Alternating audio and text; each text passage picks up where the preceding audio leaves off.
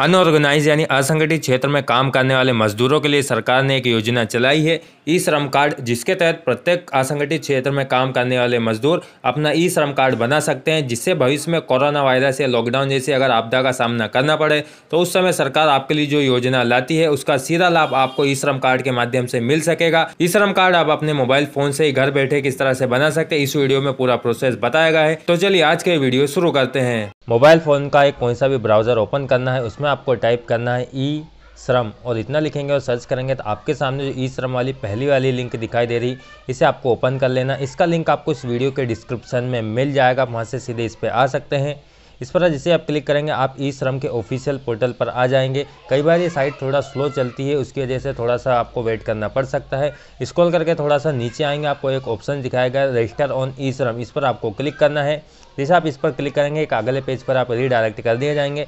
यहाँ से अगर आपके पास सी एस है तो आप सीएससी से बनाना चाहते हैं तो सीएससी से बना लीजिए। अदरवाइज़ अगर आप खुद से बनाना चाहते हैं तो यहाँ पर जो आपके आधार कार्ड में आपका मोबाइल नंबर, लिंक है, वाला आपको यहाँ पर दर्ज करना होगा। उसके बाद में जो कैप्चा कोड दिखाई दे रहा है कैप्चा ऐसा कैसा यहाँ फिल करेंगे। उसके बाद में सेंड ओटीपी पर क्लिक करना है। ओ टी यहाँ डालेंगे, उसके बाद में सबमिट पर क्लिक करेंगे। अगर आपके नंबर पर ओटीपी नहीं आता है तो ये जो सेकंड चलता हुआ दिखाई दे रहा है, यहाँ पर रिसेंट ओ का एक ऑप्शन आएगा, वहाँ पर आप क्लिक करके दोबारा से ओटीपी मांगा सकते हैं। सबमिट करने के बाद आपके सामने एक अगला पेज खुलेगा, जिसमें आपसे आपका आधार कार्ड नंबर मांगा जाएगा। आधार कार्ड नंबर यहाँ पर दर्ज कर दिया। उसके बाद में जो आई एग्री का है, इस पर आपको टिक करना है। सबमिट पर क्लिक करेंगे। आपके आधार कार्ड में जो भी मोबाइल नंबर लिंक होगा, उस पर एक और ओटीपी सेंड किया जाएगा। आधार कार्ड में जो मोबाइल नंबर लिंक है, वहाँ के आखिरी के आपको चार अंक दिखाई देंगे। ओटीपी हमारे नंबर पर आ गया। वैलिडेट पर क्लिक करेंगे। वैलिडेट करने के बाद आपके आधार कार्ड में जो भी जानकारी होगी, वो सारी आपके सामने खुलकर आ जाएगी। आगे पूरा रजिस्ट्रेशन फॉर्म इसमें खुलकर आ जाएगा। सबसे पहले आपको कुछ स्टेप दिखाई दे रही है। ये स्टेप आपको कंप्लीट करना होगी।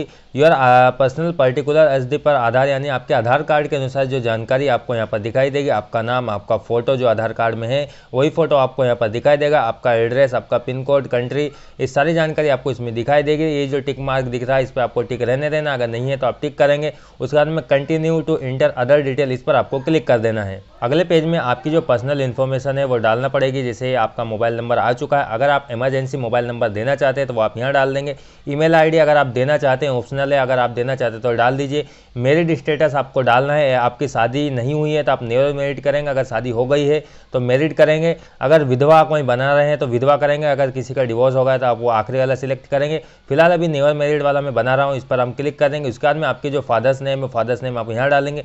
सोशल कैटेगरी, यानी आप एस टी एस सी या जनरल से आते हैं, वो आप यहाँ फिल कर देंगे। उसके बाद में अगर आप इसका सर्टिफिकेट अपलोड करना चाहते हैं तो वो अपलोड कर सकते हैं। आपका ब्लड ग्रुप अगर आपको पता हो तो आप यहाँ से सिलेक्ट कर दीजिए। अगर नहीं पता है तो आप इसे छोड़ दीजिए रहने दीजिए। अगर आप ए, मतलब डिफेंस एबल या कहे कि विकलांग अगर है तो आप यस करेंगे। विकलांगता आपकी किस तरह की है वाला आप यहाँ से सिलेक्ट कर लेंगे। उसके बाद में वापस एक और ऑप्शन खुलेगा किस तरह की विकलांगता है उसकी जानकारी आपको वहाँ देनी होगी। अगर नहीं है तो आप नो रहने देंगे। उसके बाद में नॉमिनी डिटेल आपको देना नॉमिनी का आपका नाम देना, नोमिनी की डेट ऑफ़ बर्थ देना जेंडर देना है, उसके बाद में आपने जो नॉमिनी सिलेक्ट करा है, उसका आपके साथ क्या रिलेशन है, वाला रिलेशन आप यहाँ पर फिल कर देंगे। जैसे कि अब मैंने ये करा, अगर आप वाइफ का देना चाहते हैं डॉटर मदर ग्रैंड मदर जिसका भी आप देना चाहते हैं, वो आप यहाँ फिल कर देंगे। अगर आपकी नोमिनी की उम्र अठारह वर्ष से कम है तो आपको एक और ऑप्शन खुलकर आएगा गार्डियन नेम का, यानी कि जो पालक है, उस जो आपने नॉमिनी डाला है, उनका, उनको पालक, उनके पालक कौन है, उनको पालने वाला कौन है, आपको उनकी जानकारी भी फिल करना होगी। उसके बाद में सेव एंड कंटिन्यू पर क्लिक करना है। इसके बाद में अगला पेज खुलेगा, जिसमें आपको आपका एड्रेस फिल करना होगा।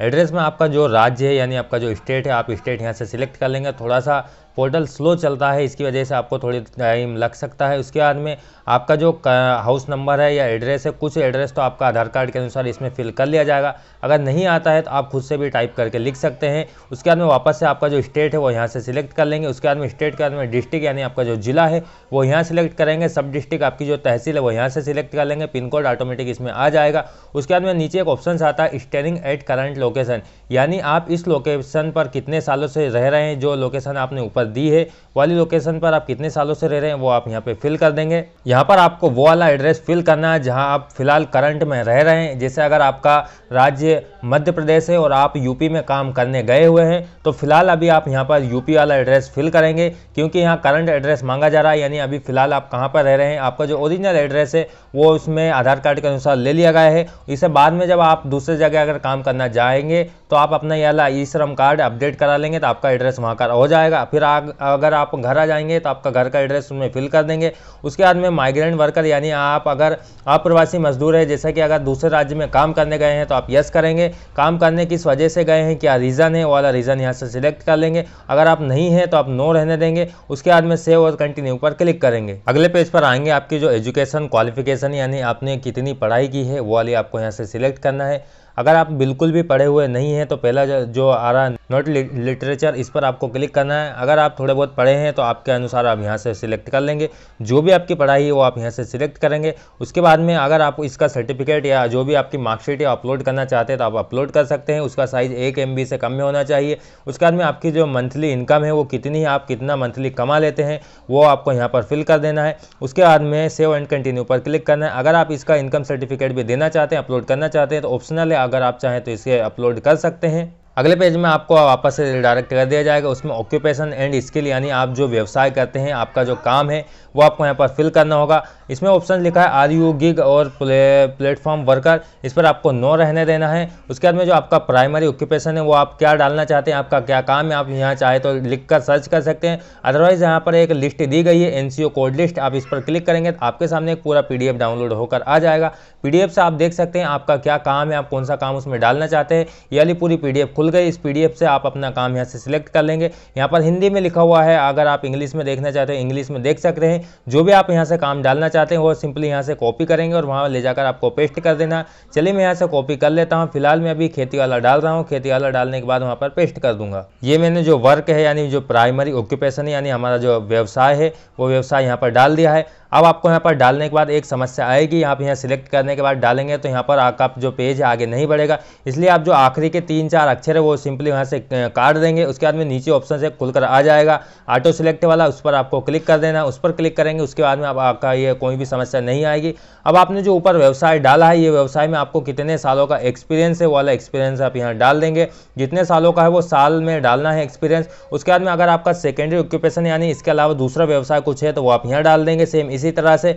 उसके बाद में अगर आपके पास ऑक्यूपेशन का कोई सर्टिफिकेट है तो वो डाल देंगे। उसके बाद में how did you acquire skill यानी आपने ये जो ऊपर व्यवसाय डाला है, ये व्यवसाय कहाँ से सीखा? अगर आप ये बताना चाहते हैं तो बता सक, बता सकते हैं। अगर आप नहीं बताना चाहते हैं तो रहने दीजिए, उसमें कोई दिक्कत वाली बात नहीं है। उसके बाद में सब स्किल आपने मतलब खुद से सीखा या कहाँ से सीखा, वो आप यहाँ डाल देंगे। उसके बाद में नीचे एक ऑप्शन आता है कि आप अगर भविष्य में कोई सी इसकी ट्रेनिंग लेना चाहते हैं कि आप लेना चाहते हैं तो आप इस पर टिक कर देंगे। उसके बाद में सेव एंड कंटिन्यू पर क्लिक कर देंगे पेज खुलकर आ जाएगा। इसमें आपकी जो बैंक डिटेल है वो आपको यहाँ पर डालनी होगी। जो आपका बैंक खाता नंबर है, आप खाता नंबर यहाँ से डाल देंगे। उसके बाद में एक बार कन्फर्म करना है वापस आपका खाता नंबर एक बार और डालेंगे। उसके बाद में अकाउंट होल्डर नेम, यानी आपकी जो बैंक पासबुक है, उसमें नाम क्या लिखा हुआ वाला आप यहाँ डाल देंगे। उसके बाद में आपका जो बैंक का आईएफएससी कोड है आईएफएससी कोड यहाँ डालेंगे। उसके बाद में जो सर्च का आइकन दिखाई दे रहा है, इस पर आपको क्लिक करना है। क्लिक करते ही हमारी बैंक का आईएफएससी कोड हमने डाला है सर्च पर क्लिक करा तो हमारी बैंक का नाम, उसकी ब्रांच खुलकर आ गई अगर ये नहीं आती है तो आप सिंपली इसमें टाइप कर लिख सकते हैं, उसके बाद में सेव एंड कंटिन्यू पर क्लिक करेंगे। उसके सामने रजिस्ट्रेशन फॉर्म आगे पूरा इसका जो सेल्फ डिक्लेरेशन यानी जो प्रिव्यू है पूरा खुलकर आ जाएगा। अगर आप इसका प्रिंट लेना चाहते हैं तो यहाँ प्रिंट पर क्लिक करके इसका प्रिंट ले लेंगे।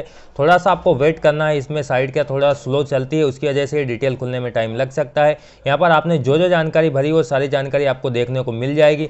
अगर आप इसमें कुछ चेंजेस करना चाहते हैं तो आपके सामने जो आखिरी में सेल्फ डिक्लेरेशन से नीचे एक एडिट वाला ऑप्शन से आप इस पर जैसे ही क्लिक करेंगे, यहाँ पर ये सारे ऑप्शन एडिट के लिए खुल जाएँगे। जिस पर भी आपको एडिट करना है सेम उसके सामने एडिट वाले ऑप्शन पर आप यहाँ क्लिक करेंगे तो वो पेज एडिट के लिए आ जाएगा। आप वहाँ से एडिट करके वापस से इसी पेज पर आ जाएँगे। अभी जो आखिरी में आपको टिक दिखाई दे रहा आई अंडरस्टैंड इस पर आपको टिक करना है। उसके बाद में सबमिट पर क्लिक करना है। सबमिट पर जैसे आप क्लिक कर देंगे, आपके सामने आपका यूएन कार्ड पूरा कंप्लीट होकर आ जाएगा। स्क्रॉल करके थोड़ा सा नीचे आएँगे, आपके सामने एक मैसेज दिखाई देगा। Thank you for registration as unorganise worker यानी आपका जो रजिस्ट्रेशन है कंप्लीट हो चुका है, आपके रजिस्टर्ड मोबाइल नंबर पर इसका जो नंबर है, वो नंबर सेंड कर दिया गया है। आपका ये जो कार्ड है आप यहाँ पर देख सकते हैं। इसमें लिखा है please refresh if you are not complete information are not display यानी आपकी जो आपने जो कार्ड बनाया है इसमें अगर आपकी कुछ इन्फॉर्मेशन दिखाई नहीं देती है तो आप अपने पेज को रिफ्रेश कर लीजिए। रिफ्रेश करने के बाद आपका वापस से जो भी जानकारी है इस आपके पेज पर दिखाई देगी। अब डाउनलोड यू कार्ड ये जो दिखाई दे रहा है आप इस पर क्लिक करेंगे तो आपका जो कार्ड है वो डाउनलोड होने के लिए आपके सामने आ जाएगा।